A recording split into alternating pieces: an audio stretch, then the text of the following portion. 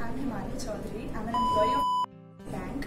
We had a two days selling skills workshop with Sujit Shinde sir and I would really like to appreciate how he has conducted the workshop for two days.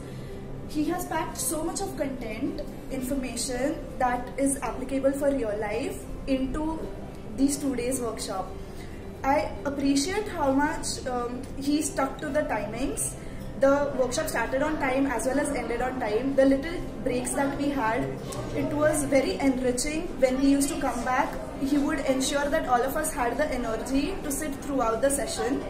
Small activities like clapping throughout the time, rotating uh, in the place, uh, even the minute details were really very well taken care of. The presentation that he put throughout the day was extremely interact interacting. The activities that were taken ensured that the group participation held on to as well as each person got an opportunity to come in front and speak.